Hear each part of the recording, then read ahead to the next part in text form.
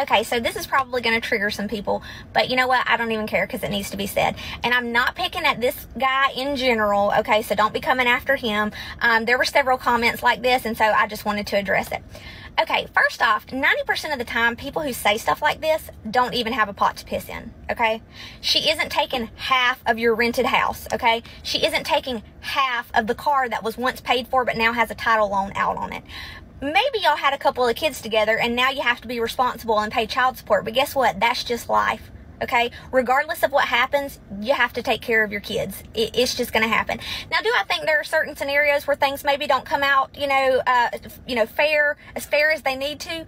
Yes. But you know what? If you expect your wife to be a stay at home mom, you know, her whole life or whatever, and then you get pissed off when you go and cheat on her and she ends up ha- uh, filing for divorce and gets alimony, well, my suggestion to you is don't cheat.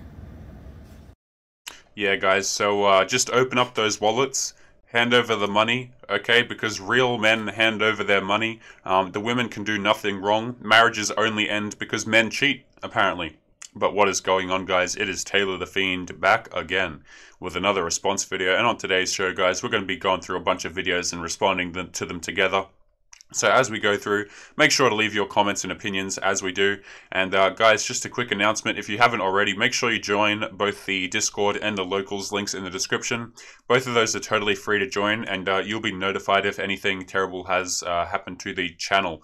Um, and also, um, the locals has a support option if you're interested. But guys, we're just going to jump straight back into this video and we're going to address all of our points together and, uh, you know, see what else these people have to say. So let's crack into it don't even care because it needs to be said. And I'm not picking at this guy in general, okay? So don't be coming after him. Um, there were several comments like this, and so I just wanted to address it.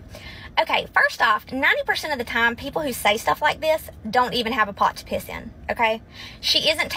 what? Okay, first of all, maybe they don't have a pot to piss in, so to speak, because their assets have been taken.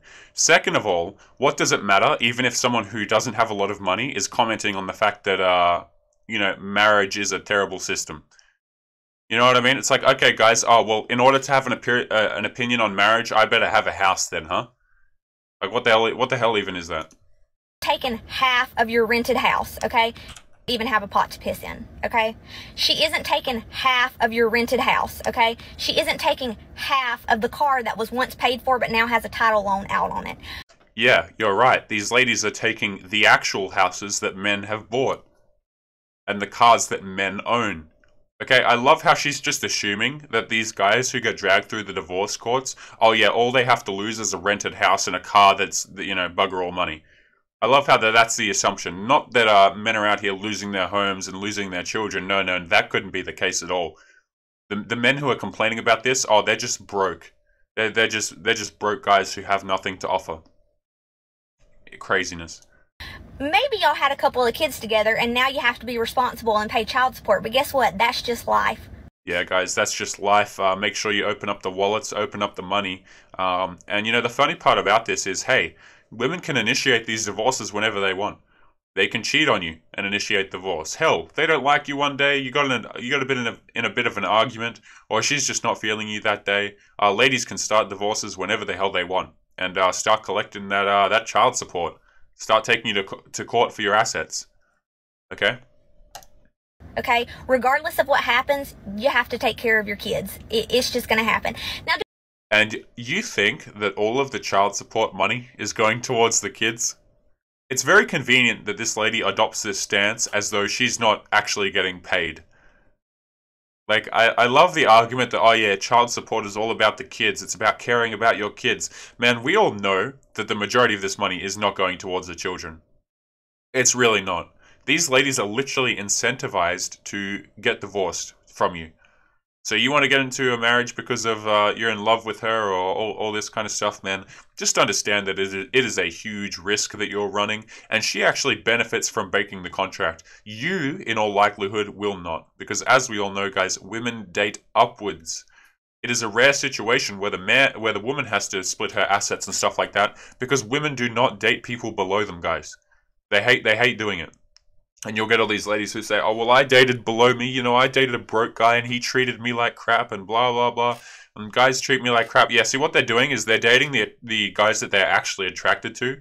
in their younger years and they're getting treated like crap. And those are the, those are the situations they're getting treated like crap. And then they want to turn to the guys who have worked hard their entire life, who have have a house or a career put together, and then uh, and then that's the situation that they find themselves in. So yeah, guys, just open up the wallet. It is your responsibility to your children to start paying this lady. Very interesting do I think there are certain scenarios where things maybe don't come out, you know, uh, you know, fair as fair as they need to? Yes, but you know what? If you expect your wife to be a stay-at-home mom, you know, her whole life or whatever, and then you get pissed off when you go and cheat on her, and she ends up uh, filing for divorce and gets alimony.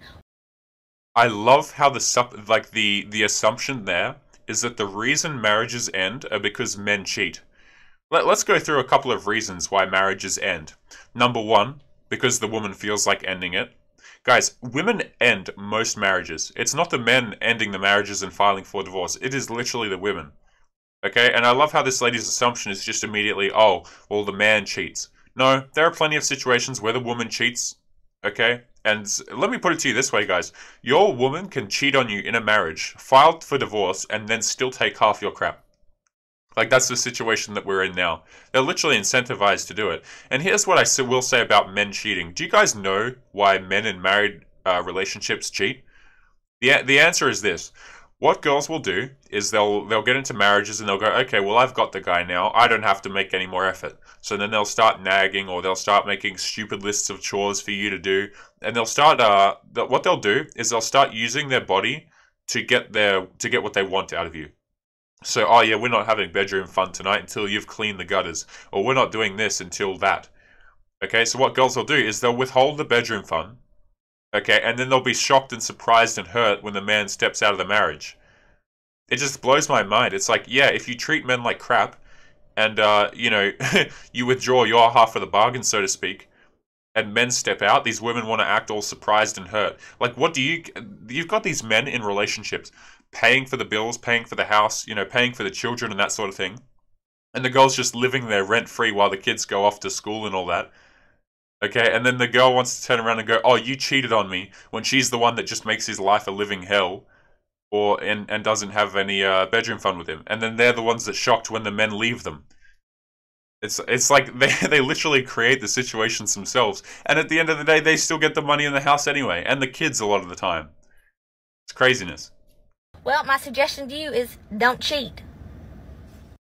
Yeah, my suggestion is uh, to you is to actually be a good wife. You know, it's all it's notice how whenever we watch videos like this, guys, it's just all on the men. And I understand that this in particular is a video compilation, but you go anywhere on TikTok, you talk about relationships, it is the men's fault everywhere. It's literally just the men's fault. Uh, but we're going to jump into another video here momentarily as I find it. And uh, guys, this is a little bit of a rough one, so you know, just a heads up on this, and we're just going to crack right into it. Goodness me. It's the one after this. Hang on. And here we are. Decided that because I was feeling crappy, put an effort into my. Funny how you're going to put effort into your appearance and not your nutrition.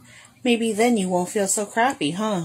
Whoa, careful throwing around words like that. This is uh, this is YouTube. You'll get banned for stuff like that. Hi. Effort, huh? I'm a god supermodel. Now, there are many things I could say here, guys, uh, but as we all know, the YouTube overlords wouldn't particularly like it. Um, but let's just read this, you know. Uh, yeah. Wait, what'd she say? I'm a, I'm a god, I'm a goddamn supermodel, is what she said. You know, it's really funny because you get these ladies running around out here and they actually think that they're like these these fantastic people just because they've got uh, men in their inboxes saying, "Oh, you're beautiful," or "You go, Queen," like other girls gassing them up. "Oh, you go, Queen! You're so beautiful." And it's really funny because um, what they'll do is they'll get all these messages, and then actually they'll believe it, and they'll believe that they're a step above everyone else. And the funny part about it is when girls say, "Man, girls are so funny." When uh, when they have friends and stuff like that, girls will literally be best friends with one another, even though they hate each other. You guys ever seen that? It's really common, right? You'll get the girls who they they literally do not like each other at all, but they're best friends and they always spend time together. And something else that's really hilarious about it is like you'll get girls say, "Oh, Queen, you're so beautiful. Any guy would be lucky to have you." And part of the reason they're saying that is not actually because they believe it. It's just that they want their value to rise as well.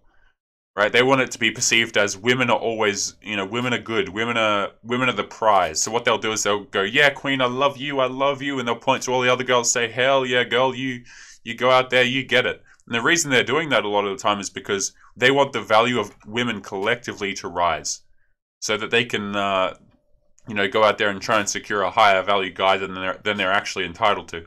Oh. Mm, I know. Yeah. I also run multiple successful businesses. I know. I know. It's not much effort though. I also work out five days a week. I know. Again, not many things I'm allowed to say on that because of YouTube. Um, but hey, this is just an idea, okay? Like, whenever you see these uh, these people who are a little bit on the unhealthy side, shall we say, um, and and someone recommends to them that hey, you might want to look into your diet. I love how they always take it as a um, like it's something that's meant to be offensive. Maybe people actually just care about your health, right? It's like maybe people actually are just saying, well, hey, uh, it could be a good idea that you look into nutrition because the way you're going at the moment um, is kind of an early way out. Like I've said this on the channel before, gentlemen, but if you're in a situation where you've got bad health, whether that be because you don't go to the gym or you know you don't eat the right things, you're not healthy and stuff like that, one of the worst things that someone can tell you to you, one of the worst things that someone can say to you is, "Oh, don't worry, man, you're fine the way you are."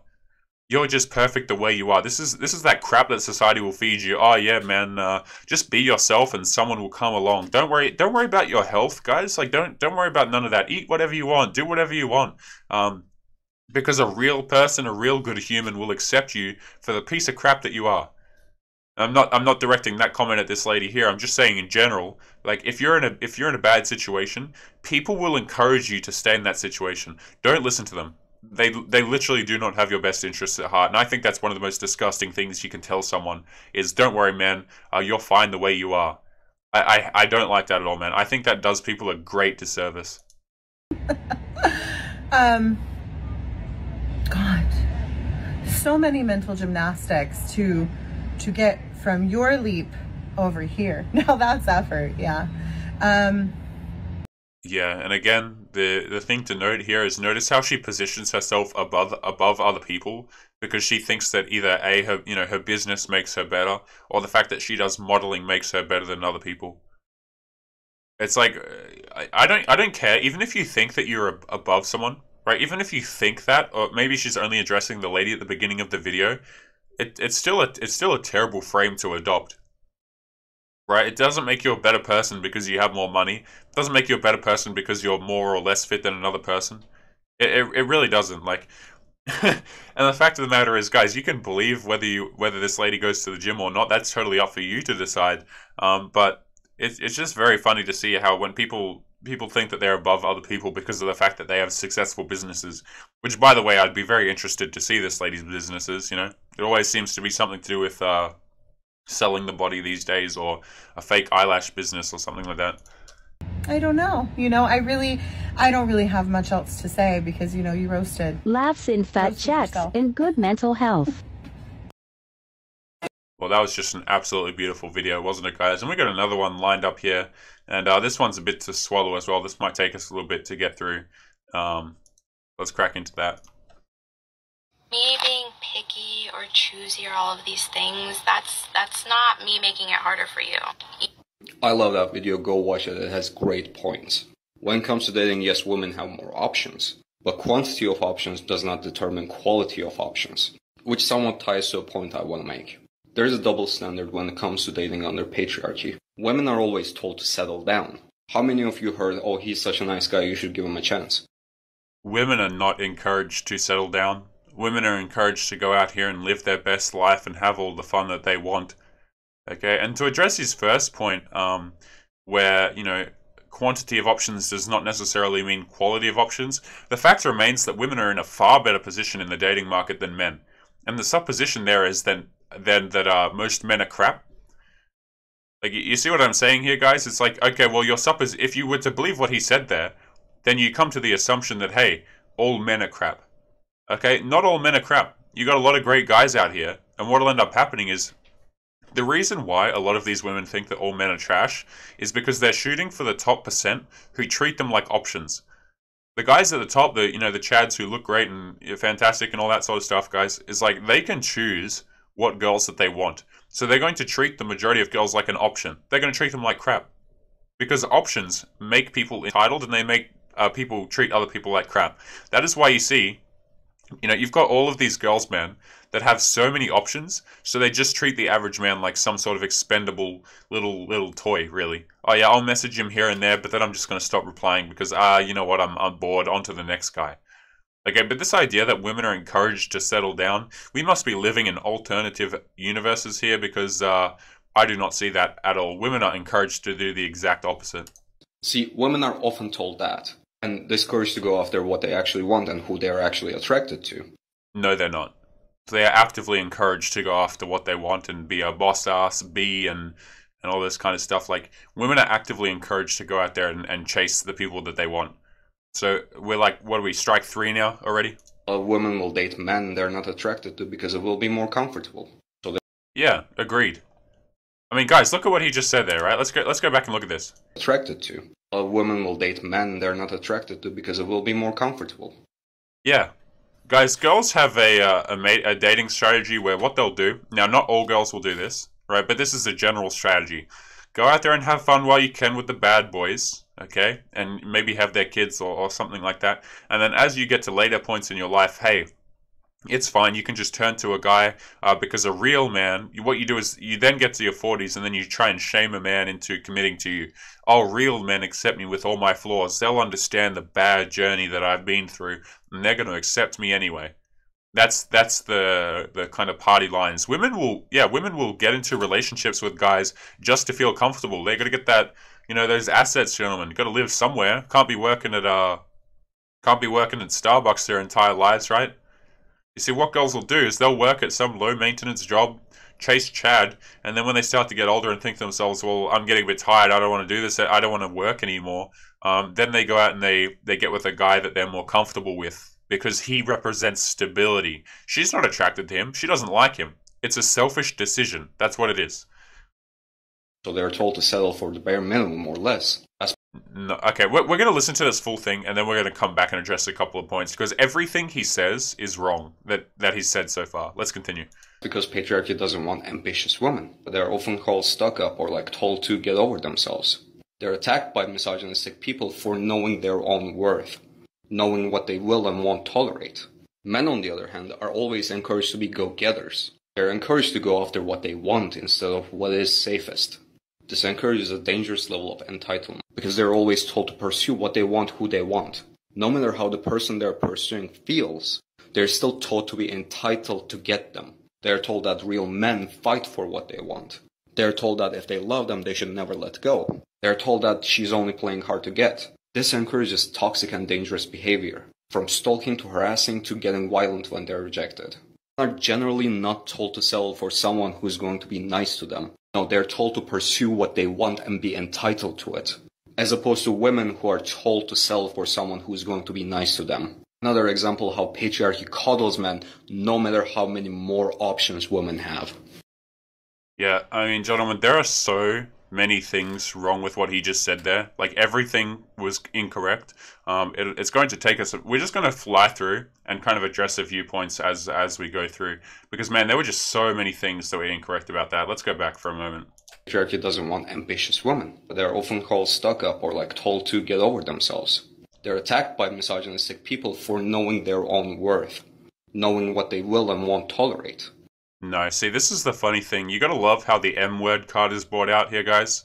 Like, if you if you try and hold women accountable and say that, hey, maybe you're acting a bit entitled here, then all of a sudden you're the M word. Okay, no, women go women are out here at the moment with very unrealistic standards for men. That's that's just the way it is. What's happening is they've got their inboxes full of messages from guys so that they think that they're all uh, the, the most sugar spice and everything nice but they're not actually entitled to those men. You can get a guy who earns six figures maybe a six foot and that sort of thing for a for a night or two. So what women will do is they'll go have that fun and then they'll think that they're entitled to that kind of guy again and again. And then they treat the other the rest of the men like crap. That's how it works. Men on the other hand are always encouraged to be go-getters. They're encouraged to go after what they want instead of what is safest no, they're not. uh, men are encouraged at the moment to be crybabies, if I'm completely honest. Um, men are encouraged, hey, you know what? Real men put up with crappy behavior. Real men don't have boundaries. They accept women the way that they are, even if they treat them like crap. Uh, you know, real men are in tune with their emotions and their feelings and aren't afraid to express them. All of these kind of things, those things that I just outlined, guys, if you want to go and follow them, you're more than welcome to, but it's just going to ruin your dating life. It really is, because what women say and what they actually respond to are two hugely different things. I don't care how many times a girl says, Oh, yeah, just be open and vulnerable with me. That's what I want. I'm sick of being treated this way. You got to ask yourself, guys, there are plenty of men out there who would be willing to treat women great. You know, take them on dates, do all these things for them, tell her she's beautiful and stuff like that. But that's not actually what she wants. If she wanted that, she would not be going to the to the guys who are, you know, doing the exact opposite. And there's a video I still have to release on Patreon um, where a girl says, um, you know, girls are attracted to not men not necessarily because they're assholes, but because they have other masculine characteristics that quote unquote nice guys tend to lack. But the fact remains, guys, women women are actually attracted to, or at the very least, they're repulsed by quote unquote nice behavior. You want to go out here calling ladies beautiful and telling them, them that they mean the world to you and you'll do anything for them. You're just going to run girls off. You know, you want to lend her money. Here's the funny part: like, you want to lend a girl money, you just lost respect you want to go help her with her car tire, you just lost respect. And, and the, the funny part about it is a lot, and I'm not saying all, but a lot of nice actions have a very large capacity to lower her interest in you. Because she knows, oh, well, now I've got him. He drove out here 45 minutes out of his day to come and fix my tire, so he must have not a whole lot to do. He's calling me beautiful. Um, does he not have other girls to be hitting up? Why aren't other girls hitting him up? Is he just worth nothing? I don't want a guy who no other girls want. That's creepy. That's weird. You see where I'm going with that, gentlemen? It's like men are not encouraged to go out here and, and, chase what they want. Men are encouraged to shrivel up and be these meek little things that only do actions based on other people's opinions. That's where men are at right now.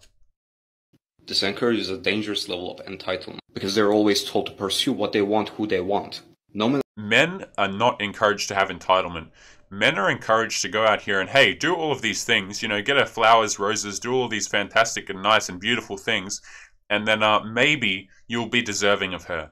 That is literally the opposite of being taught to be entitled. Men are taught to chase and chase and chase, and maybe one day she'll turn around and realize your worth. You guys know that, like that movie scene? I don't know where the hell it originated from, but the one where a guy's like throwing rocks up to her window, and then she finally opens it and he plays her like romantic music or some crap like that. It's like, oh yeah, maybe she'll maybe she'll finally come around.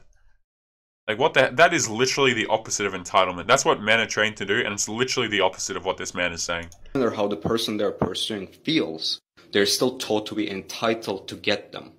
No, men are entitled to chase and chase and chase. And guys, this is kind of the, the thought that we're going to leave the video on here. But um, men are encouraged to chase and chase and chase. And do you know who? Do you know who is it? Who is um doing that encouraging?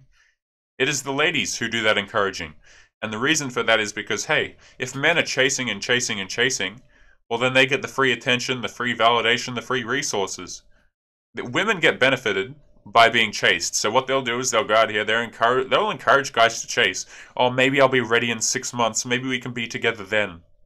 Or and they'll lead guys on for months and months at a time, and and say, you know what? Oh, a real guy pursues his lady. If you ask a girl for dating advice and you say, hey, oh, I want this other girl to like me. What do you recommend doing? Or how about you just be friends first and show her that you care and oh, be in touch with your emotions and all this kind of crap. And if you listen to that, my goodness, you're going to be in a, in a bit of a terrible situation. But gentlemen, I think we're going to leave today's video there. Uh, my OBS has uh, has frozen, so hopefully the recording still goes through. But make sure you leave your comments, your thoughts, and your opinions as we wrap up today's video. And just to rehash the announcement at the beginning, guys, make sure you come and join the Discord and the locals links in the description. Both of those links are totally free to come and join. Um, the locals has a support option if you're interested in that. And, um, you know, just in case anything happens to the channel, guys, you will be notified over there. Uh, locals actually, they actually had a representative that reached out to us.